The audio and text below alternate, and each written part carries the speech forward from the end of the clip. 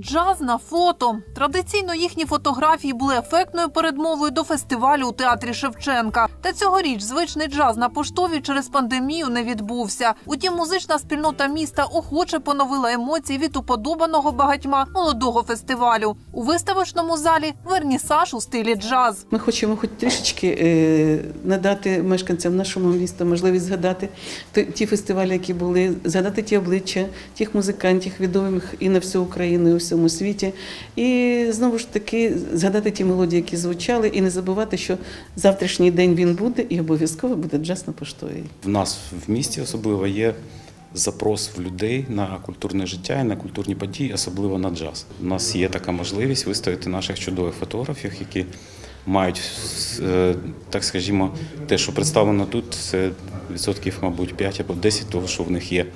І за роки фестивалів на знято матеріалу і учасників, і зірок, які приїжджали, і ті емоції, які ми бачимо на цих світлинах, вони безцінні. Цьогоріч у джазових фото Алли Балабан акцент на українських зірках. Тут же невідома грань відомих особистостей Святослава Вакарчука та Джамали. Одного разу на альфа-джазі на джем-сешені я побачила, як вони джазують.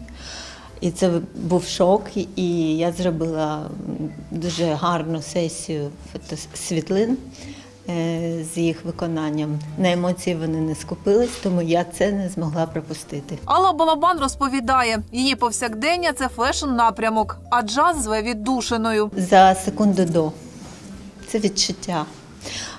Також е, велике значення грає те, що, ну, наприклад, я музикант, я знаю якийсь джазовий стандарт. Я, наприклад, знаю, що зараз буде піано. І там декілька інструментів затихнуть, і декілька вони повинні видати емоцію затихання, там трошки примружитись. І я вже готуюсь, що це буде портрет.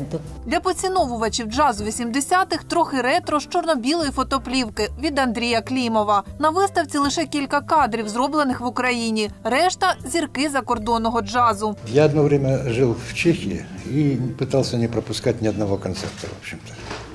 Но поскольку это было в 80-х годах, я снимал все на черно-белую пленку.